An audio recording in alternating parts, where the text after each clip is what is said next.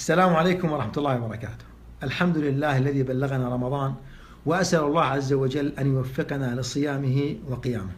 حياكم الله في الحلقة الأولى من سلسلة غزوات النبي صلى الله عليه وسلم. سلفنا الصالح رضي الله عنهم كانوا يتعلمون مغازي النبي صلى الله عليه وسلم وكانوا يعلمونها أبنائهم حتى قال علي بن الحسين رضي الله عنه قال كنا نعلم مغازي النبي صلى الله عليه وسلم كما نعلم السورة من القرآن. فكان لمغازي النبي صلى الله عليه وسلم مكانة عظيمة في حياة سلفنا الصالح.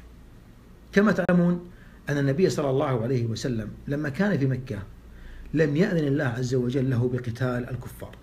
فلما هاجر إلى المدينة جاء الإذن بالقتال وأنزل الله عز وجل قوله تعالى أذن للذين يقاتلون بأنهم ظلموا وإن الله على نصرهم لقدير.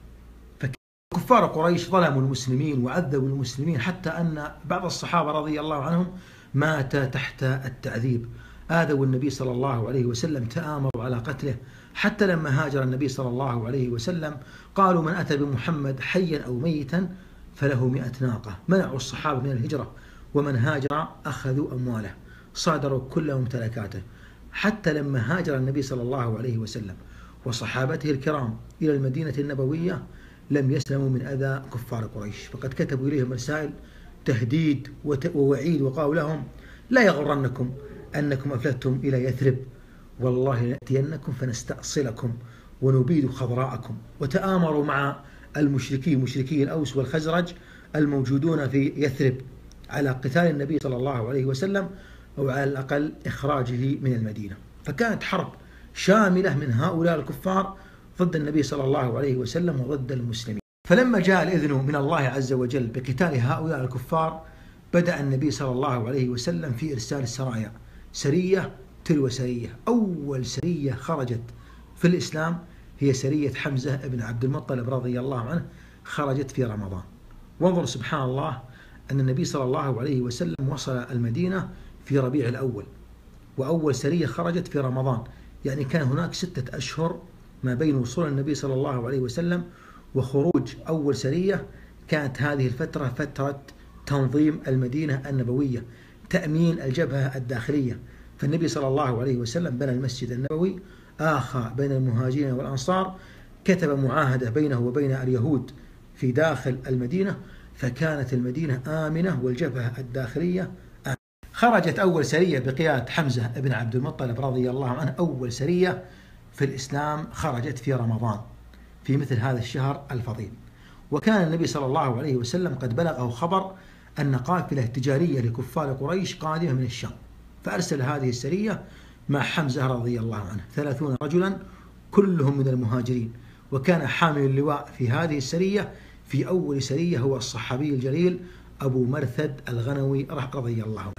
انطلقت هذه السرية فلما وصلوا إلى الساحل ساحل البحر جهة العيص فإذا بالقافلة التجارية لكفار قريش.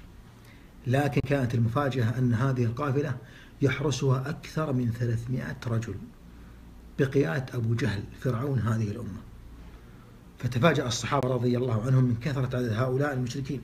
لكن حمزة رضي الله عنه أصر على مواجهة هؤلاء الكفار مهما كانت النتائج. اصطف الجيشان ثلاثون مسلما مقابل أكثر من ثلاثمائة مشرك. ولا شك أن هذا العدد غير متكافئ. لكن إيمان الصحابة رضي الله عنهم وتنفيذا لأمر النبي صلى الله عليه وسلم قبلوا بهذه المواجهة. قبل أن تبدأ المعركة قدم رجل يقال له مجدي بن عمر الجهني. هذا الرجل كان حليفا للمسلمين وحليفا لكفار قريش.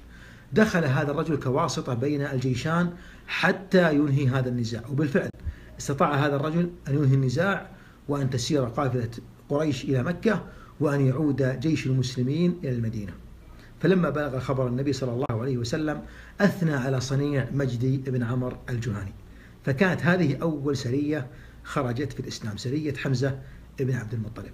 بعدها بشهر بلغ النبي صلى الله عليه وسلم أن قافلة تجارية لكفار قريش قادمة أيضا من الشام. فأرسل النبي صلى الله عليه وسلم سرية مباشرة بقيادة عبيدة بن الحارث رضي الله عنه. سرية قوامها ستون رجلا وكان حامل اللواء هو مصطح بن أثاثة رضي الله عنه. انطلقوا بسرعة إلى جهة رابغ فلما وصلوا المكان فإذا بالقافلة. فيها ما يقارب 200 رجل حراسة بقيادة أبو سفيان فهجم الصحابة رضي الله عنهم على هذه القافلة. فاعترض المشركون أمامهم. أكثر من 200 رجل اعترضوا أمام جيش المسلمين. وبالفعل حصل مناوشة وترامي بالسهام وكان أول من رمى في سبيل الله هو سعد بن أبي وقاص رضي الله عنه. رمى في هذه السرية رمى جيش المشركين فكان أول من رمى في سبيل الله. في أثناء هذا الرمي شك الكفار أنه رب شك الكفار أنه ربما يكون هناك كمين لهؤلاء المسلمين. كيف فقط 200 رجل ربما يكون هذا طعم بينما يكون البقية يهجمون على القافلة لأن القافلة انطلقت إلى مكة وهنا الجيش في مواجهة جيش المسلمين. ربما يكون لهم كمين آخر أو جيش خلف هذا الجيش فخاف المشركون وشكوا في الأمر ثم انهزموا ولحقوا بقافلتهم. كان سبحان الله في جيش المشركين كان هناك رجل يقال له المقداد ابن عمرو وآخر يقال له عتبة ابن عتبة بن غزوان رضي الله عنه. كانوا هؤلاء في جيش الكفار.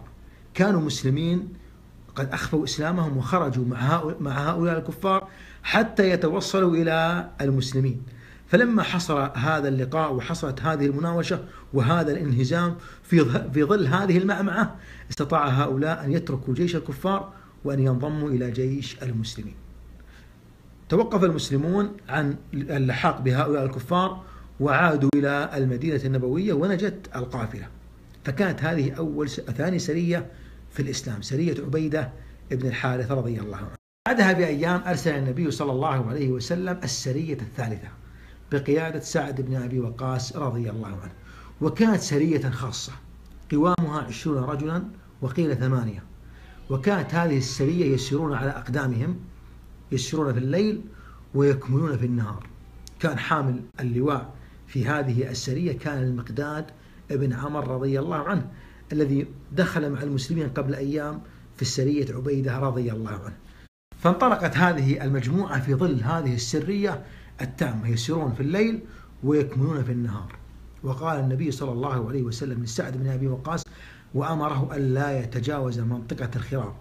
قال له إذا أتيت هذا المكان فلا تتجاوزه. وبالفعل انطلقوا يسيرون بهذا الشكل. فلما وصلوا المكان وصلوه في اليوم الخامس.